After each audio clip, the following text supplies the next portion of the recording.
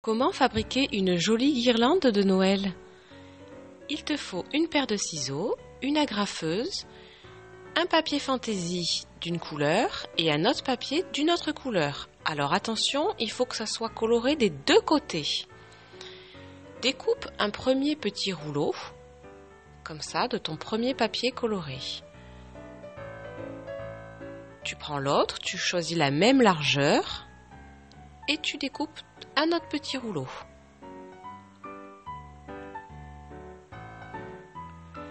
Déroule tes deux rouleaux.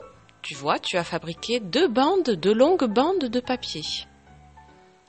Tu les mets l'une sur l'autre, comme ça, dans ce sens, et tu les agrafes ensemble. Voilà, il faut bien qu'elles soient en angle droit. Et ensuite, tu vas les replier chacune sur le dessus. Voilà, tu plies la première dessus, tu prends l'autre, tu la replies dessus.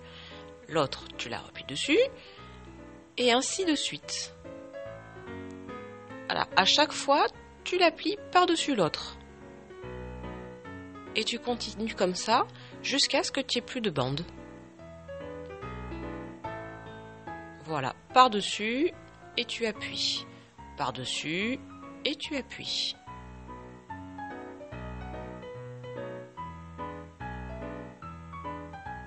Et tu continues.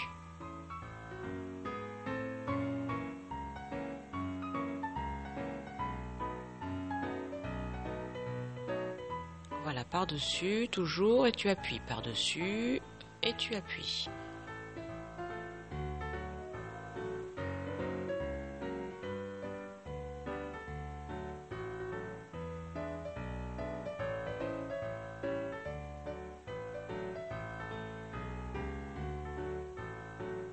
Voilà, tu le fais tranquillement.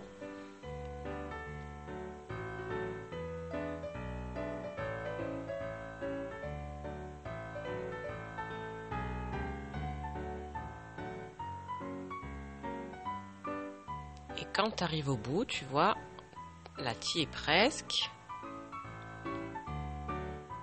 Et tu replies jusqu'au bout, jusqu'au dernier. Voilà, tu prends ton dernier pli comme ça et tu vas l'agrafer pour que ça tienne. Tu fais attention avec l'agrafeuse. Hein. Et maintenant, tu peux dérouler ta guirlande.